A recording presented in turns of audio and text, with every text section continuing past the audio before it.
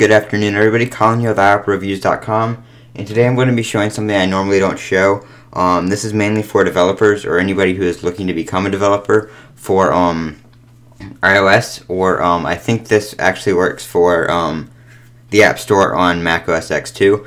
But um, what I'm going to be showing, I do know for sure, is for the Apple App Store.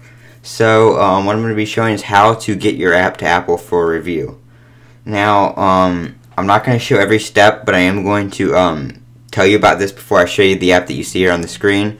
And um, that is iTunes Connect, which you will be able to sign into um, through your developer uh, account.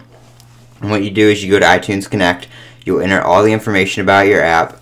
Um, you have to have screenshots, which you can see I have here, um, using the iOS simulator on the computer, or you can plug your device in if the app is on that device for testing purposes and you can send the screenshot from your device to your uh, to your computer using Xcode, which is right here. Now, I'm not a coder. I don't know how to code, um, so I did not use Xcode in making this application. Um, I used an online website that kind of gives you templates and you kind of drag and drop things and set things that way, and there's no coding required and then you you uh, get a bunch of uh, I think it's two or three certificates from um, your Apple developer account, and you upload a certificate request, and it'll send you back uh, instantly. There's no waiting or anything. You just hit download and it'll download a little certificate um, into your downloads right here, iOS distribution uh, certificate.cer file. Um, and then right here you can see your certificate signing request, which identifies your app and identifies you as a developer. Um, you upload those to the website you're using that you made your app on, and once you put all those in, it'll bundle up bundle them up in your app, build your app up for the App Store, and it'll give you a download. Um, as you can see here, um, .ipa. It shouldn't be in a folder because I, the website I, I, I used uh, didn't work very well, and I actually have to use a different website. And this app is actually for a friend.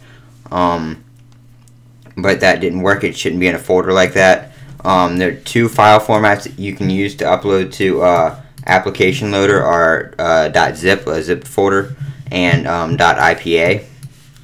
And um, you just download those. You'll click right here, um, deliver your app. It'll review your applications, and uh, you, once you um you have to do the iTunes Connect stuff first, and once you've done that, it will show up in here. Tell it what application you're uploading.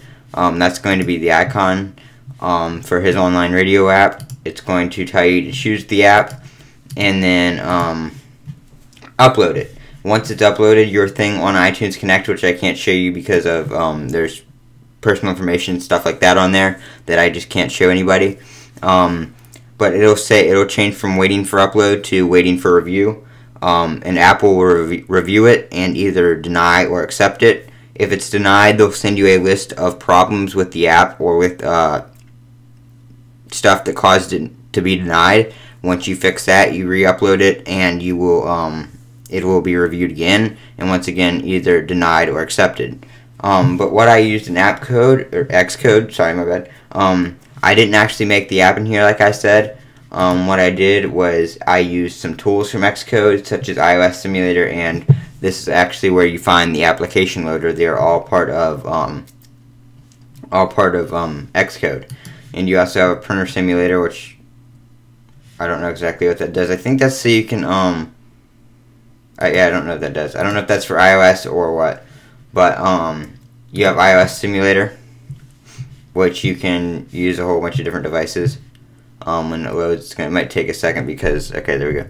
Um, so it's pretty standard. You just you don't have any. You have the internet, and you can actually put internet apps on there. Like you see, I have the test apps right there um, passbook calendar maps and all that stuff. And they actually work too. You can you can use Safari on here, um, and you have a bunch of different devices, um, like the 64-bit iPad, so you can test uh, new 64-bit apps um, and stuff like that. So that's what I use out of Xcode, and then you just upload it using Application Simulator.